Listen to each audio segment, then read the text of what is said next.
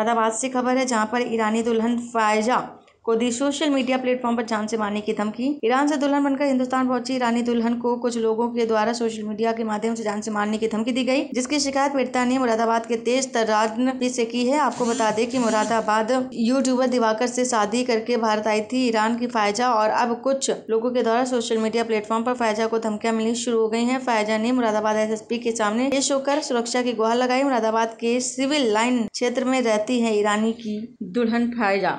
ईरानी एलियो की है फ़ायदा।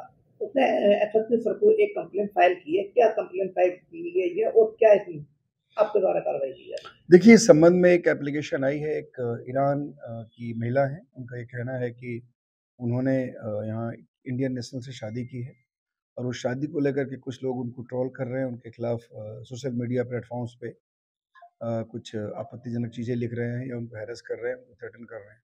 इस संबंध में हम लोगों ने अभी एक जाँच दी है और उसको जाँच के बाद जो भी फाइंडिंग्स होगी उसके हिसाब से इसमें वैधानिक कार्रवाई की जाए अच्छा जैसा कि उन्होंने कंप्लेन में शो किया है कि उन्हें जो शो किया था वो पीछे काफ़ी और उसमें उन्होंने बोला है कि जाकिर नायक के का हवाला देते हुए उन्हें शो किया जा रहा है मोहम्मद रजा और साहिल शेख के अकाउंट से देखिए वो जो उनका एप्लीकेशन है उस एप्लीकेशन में स्पष्ट रूप से उनके कहा गया है कि इंडिया में उन्होंने शादी की है उसको लेकर के उनके उन, उनको ट्रोल किया गया है हरस किया जा रहा है।